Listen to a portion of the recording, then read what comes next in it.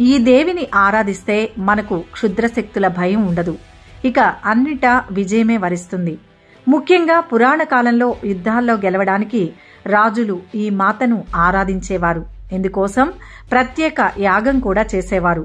ఆ యాగంలో ఎండుమిరపకాయలు వేస్తే వాటి ఘాటు అక్కడి వారికి ఎంత మాత్రం తగలదు. దీనిని మనం ఇప్పటికీ ప్రత్యక్షంగా చూడవచ్చు.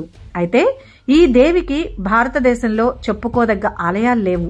కేవలం వేళ్ళ మీద లెక్క పెట్టగలిగినన్ని దేవాలయాలు మాత్రమే ఉన్నాయి. అందులో ఒకటి తమిళనాడులో ఉంది. ఆ ఆలయ విశేషాలతో పాటు అమ్మవారికి సంబంధించిన పూర్తి వివరాలు ఈ వీడియోలో తెలుసుకుందాం.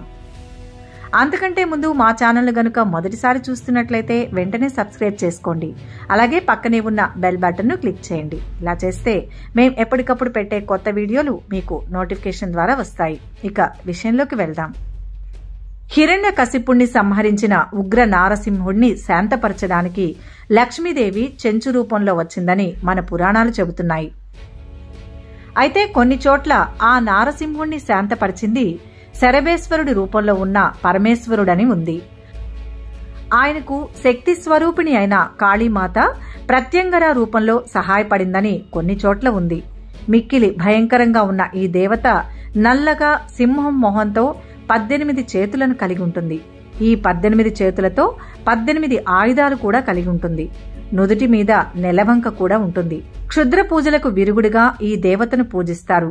పూర్వకాలంలో యుద్ధాలను జయించడానికి రాజులు ప్రత్యంగరాదేవి కోసం నికుంబళ యాగం చేసేవారని చెబుతారు.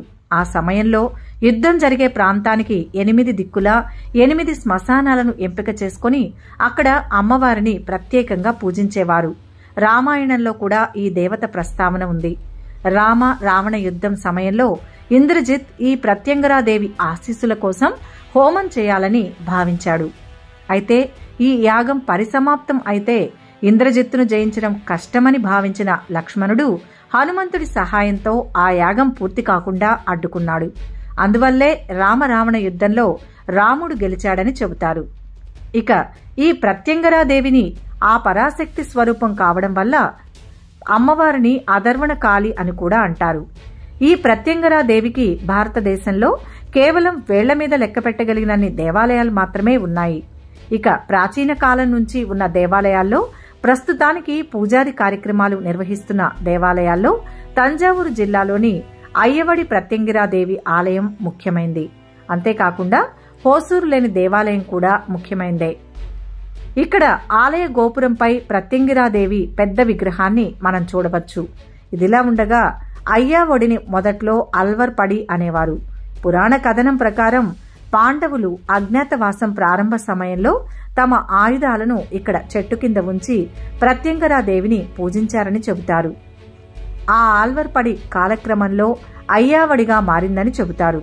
ఈ ఆలయంలో అమావాస్య వంటి ప్రత్యేక రోజుల్లో నికుంబళ యాగం చేస్తారు. వినాయకుడు సుబ్రహ్మణ్యేశ్వర స్వామి అయ్యప్ప భైరవుడు శరభేశ్వరుడు శూలిని వారాహి సుదర్శన చక్రం మహాలక్ష్మి దేవతలను యాగం చుట్టూ వేదాలను ధర్మాలను శాస్త్రాలను అనుసరించి ప్రతిష్ఠింపజేస్తారు. ఇక యాగం సమయంలో యాగకుండంలోనికి తొంభై ఆరు రకాల వివిధ ద్రవ్యాలు నవధాన్యాలు పట్టుచీర నెయ్యి వంటి వాటితో పాటు ఎండుమిరపకాయలు కూడా వేస్తారు. అయితే ఎంత పరిమాణంలో ఎండుమిరపకాయలు వేసినా ఆ ఘాటు అక్కడ ఉన్నవారిపై ప్రభావం చూపించదని చెబుతారు. ఇందుకు ఆ మహామాత శక్తే ప్రధాన కారణమని స్థానిక పూజారుల కథనం.